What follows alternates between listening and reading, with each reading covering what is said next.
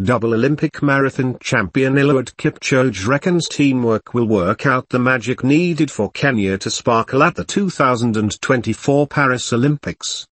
The East African athletics powerhouse will parade 11 marathoners, 5 men and 6 women, at the premier global quadrennial games set to take place in the French capital of Paris from July 26 to August 11.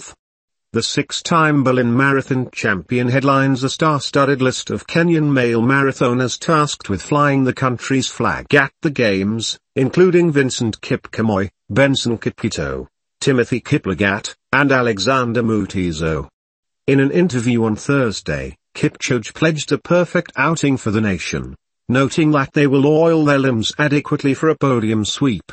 The decorated course icon hailed his teammates for punching a ticket to the games, adding that he believes they all possess the mojo to tuck away the coveted medals.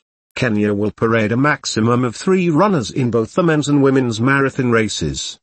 The female team comprises Olympic champion Peres Jepchirchir, 2021 Olympic marathon silver medalist Brigid Kosgei, New York Marathon champion Helen Obiri, 2019 World Champion Ruth Chepngetich, 2024 Tokyo Marathon runners-up Rosemary Wanjiru and New York Marathon third-place finisher, Sharon Lokedi.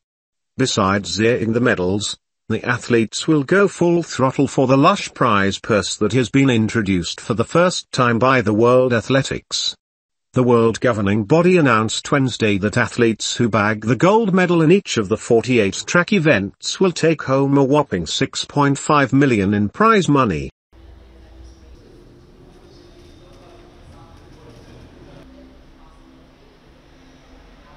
My huge expectation actually is to win Olympics for the third time.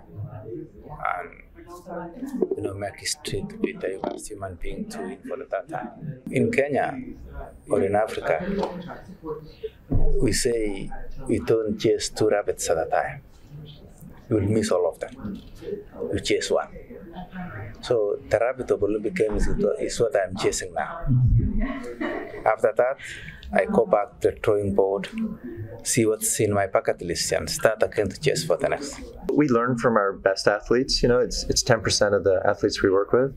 There is a trickle down innovation because we're really intent and focused on making sure that our innovations work across body shapes, across if we're talking running, running speeds, running styles, body shapes and styles.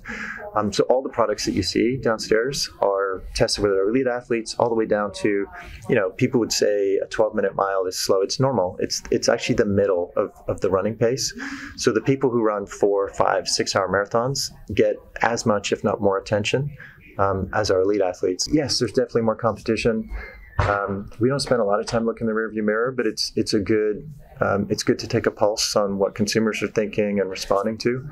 Um, but yeah,